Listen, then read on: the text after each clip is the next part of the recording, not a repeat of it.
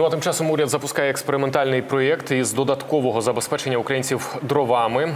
Розмір субсидії на закупівлю твердого палива збільшують більш ніж удвічі з 7 до 16 тисяч гривень на рік. Про це повідомив прем'єр-міністр Денис Шмигаль. Гроші можуть отримати українці, які опалюють житло дровами. Допомога надається раз на рік. Під час нарахування субсидії враховується розмір доходів членів сім'ї за минулий рік. Для оформлення пільги необхідно звернутися до місцевого органу соціального захисту, подати заяву і заповнити декларацію про доходи за минулий рік. Ярослав Демченков, заступник міністра енергетики України, долучається до нас. Вітання вам. Добрий день. Ну, одразу, скільки ми вже озвучили цю ініціативу, ми і перед тим говорили про неї побіжно із е, нашим попереднім спікером.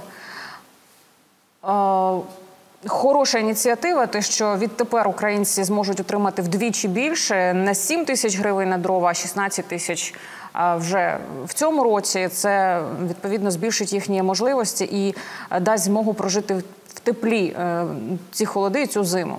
Власне, як в міністерстві оцінюють готовність енергосистеми до зими, враховуючи, що Росія вже почала наносити удари по ключовій інфраструктурі? Дякую. Ми до зими готові. Енергосистема стійка та працює стабільно. Ми провели цієї зими таку безпрецедентну ремонтну кампанію після всіх обстрілів навіть додали додаткові потужності одні на 6 ГВт. Є можливості розширення імпорту, якщо буде потреба під час особливих холодів або якихось е, результативних обстрілів. Якщо буде потреба додаткової генеруючої потужності, у нас не не вистачатиме. Ми імпортуватиме електроенергію.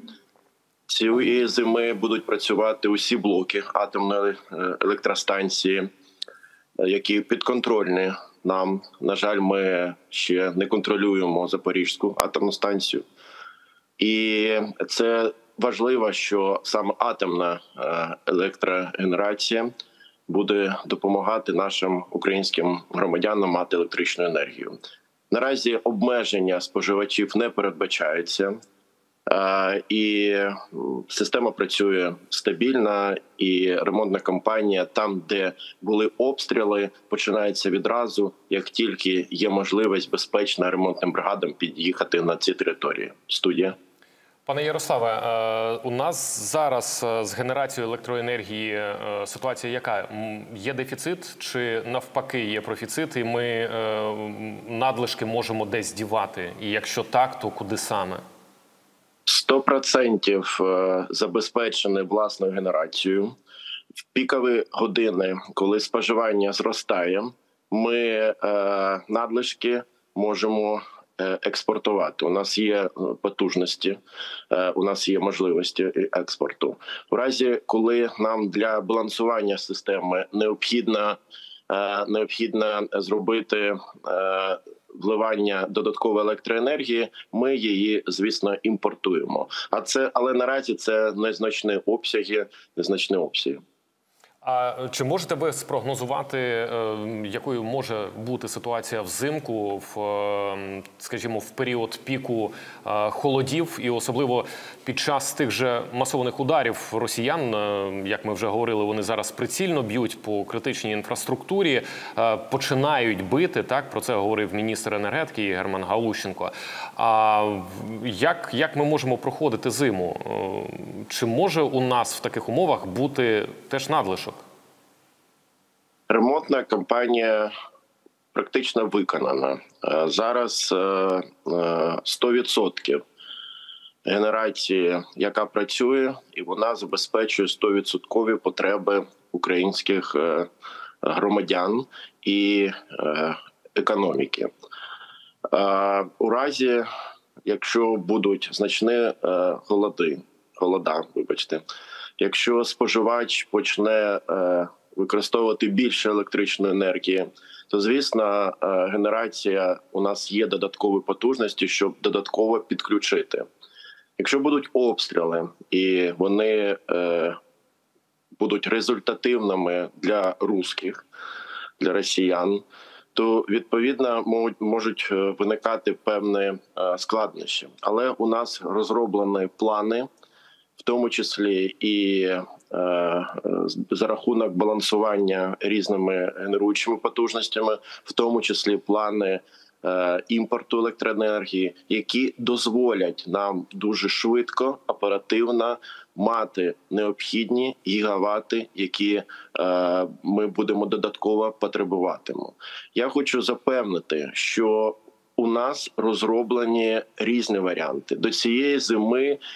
Енергосектор готовий. Ми врахували попередній досвід попередньої зими, і е, розумієте, все залежить від е, ПВО більшою мірою. А а далі залежить вже від професійних е, енергетиків, які приїжджають на місце е, російського злочину і починають ремонтувати і відновлювати необхідну енергію постачання енергії українцям. Абсолютно вірно, це залізні люди. Так і е, здебільшого багато чого залежить саме від поставок е, чергових систем протиповітряної оборони, про що ми постійно говоримо і наголошуємо на різних рівнях. Також багато чого залежить від е, допомоги наших союзників. Зокрема, за словами очільника Міненерго Германа Галущенка, фонд підтримки енергетики України разом з анонсованими внесками вже перевищив 300 мільйонів євро. Серед лідерів цієї підтримки Євросоюз, Німеччина, Швеція, Сполучені Штати, Велика Британія. Що за ці кошти купують? Ці кошти йдуть е, для енергетичних компаній, але вони не йдуть у вигляді коштів, вони йдуть у вигляді обладнання, яке закуповується з урахуванням списку потреб енергокомпанії. Цей список верифікується експертною групою, робочою групою, яка існує. Ми передаємо в Energy Community, Це міжнародна організація в Відні. Вони е, теж верифікують цей список, список потреб, дивляться, де можна заміщення, яке зробити, тому що не все обладнання, яке е, ми потребуємо, там умовно кажучи, е, виготовляється зараз. Потім цей список передається в американську в американський проект USAID Energy Security Project, проект енергетичної безпеки, і вони закуповують це обладнання, і потім цей процес завершується постачанням цього обладнання в Україну і передачею енергокомпанії, які встановлюють це обладнання. Я навмисно привів е, весь всю весь ланцюжок від прийняття рішення до постачання. Це довго так будемо говорити такий е, важкий процес тому що потрібно знайти обладнання, потрібно поставити в Україну, встановити його. І міністерство енергетики безпосередньо в цьому процесі бере дуже активну роль. Ми будемо говорити так в організаторі цього процесу. Цей фонд створений за рахунок за рахунок того, що міністр енергетики в перший день війни поговорив з єврокомісаром Кадрі Сімсон, і вони домовились створити такий фонд. Е, і він е, прозорий. Жодного питання не виникає ніколи е, у донорів, і донори довіряють.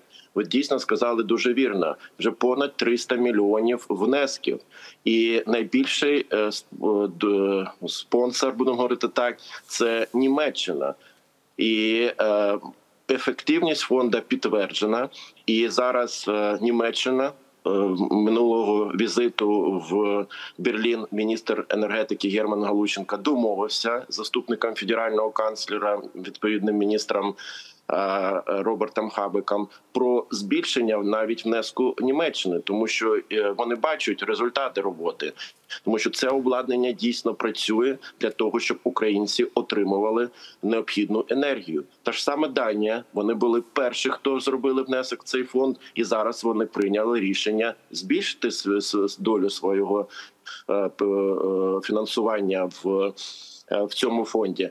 Тому е, знаєте, ми шукаємо різні різні варіанти, як допомогти енергетикам, і це і за рахунок фонду, і за рахунок безпосередніх перемовин з компаніями, які безпосередньо можуть не е, фінансувати, але надати обладнання, самі закупити або передати якесь застаріле. Зараз нам необхідно зробити все можливе, і ми робимо, що фонд.